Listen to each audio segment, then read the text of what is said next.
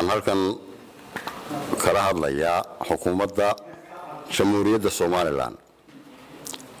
Waxa weeye maxaafid iyo macaaridba madaxweynuhu isaga u madaxweynah maalinba ninka hadla ee ku hadla macaarid ahaan haddii uu bartilmaameedsado uu god ku rido ma shaqaynayso xukuumaddu qorshaheedu mid beena buu noqonaya mid runa noqon maayo mana shaqaynayso waxaan leeyahay afhayeenka xusbiga wadani iyo xogaaya xusbiga wadani.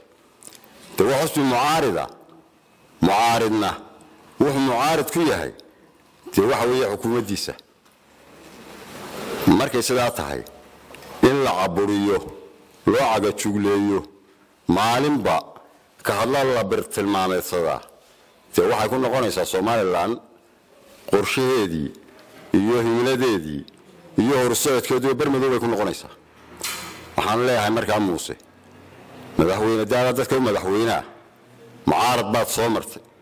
Cagajuglayn iyo xadhigi maad arag laguguma qoonsan ummadaadu way kugu daba socotay way kugu jeclay. Imaka tiyoo kale lagaa rabaa.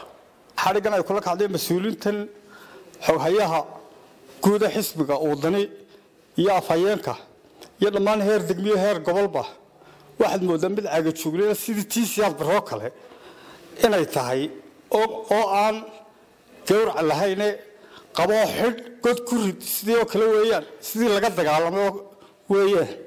Kolkaa waxaanu dowladda u sheegaynaa in ay nimankaa mas'uuliinta xorriyaddoodii u soo celisay si deg dega waayo waxay sameeyey sharaftoodii iyo sharaftii jumhuuriyadda somalilan iyo dimuquraadiyaddiiba meel bay kaga dhaceen xukuumaddu wixii loo soo dagaalamayena maaha oo wax ka duwan. Waxa weeye ku rid god.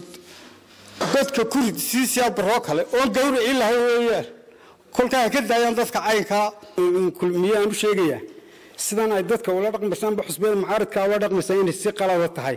Qaladkaasina in badan buu mucaarid ay ahaayeen. Ragaan mucaarid soo marin baa la moodaa. Siday u dhaqmayaan amba ula xisaabtamayaan amba ay u xidhayaan. Inay dadweynahan shacbiga hadduu mucaarid yahay hadduu muxaafid bahaye uu yahayba isagoo madaxweynaha musabixi inuu musabixi ka daayo hanjabaadda iyo xadhigga iyo cagajuglaynta ku haya dadweynaha taas oo aanu ka codsanayno inuu dadka mid walba isaga u madaxweyne si masaalaxa uu kula dhaqmo una soo daayo nimankan mucaaridka ah ee gudoomiyaha xogayaha xusbiga wadani iyo afhayeenka xusbiga wadaniba arrinkan foosha xun ee lagula kacay gudoomiyayaasha xisbiga wadani taasoo nagu beertay cadho iyo waxaan loo dul qaadan karin. Waxaan madaxweynaha jumhuuriyadda somalilan muuse biixi cabdi ka codsanayaa inuu xorriyaddoodii u soo celiyo si deg deg ah. Isagu mucaarid buu soo maray. Cidina may xidhin cidina may uma cagajuglayn marka waxaa doonayaa si deg deg ah inuu xorriyaddoodii ugu soo celiyo. Waxaan halkan ka cambaaraynayaa falkii lagula kacay xoogayaa guud ee xisbiga wadani iyo afhayeenka xisbiga wadani taasoo ahayd fal aan lagula fal aad iyo aad u nusqaana.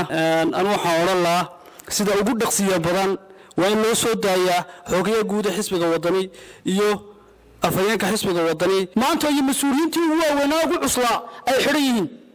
Waxaanu kuugu baaqaynaa inaad ee soo dayso labaatanka saacadood soo socda.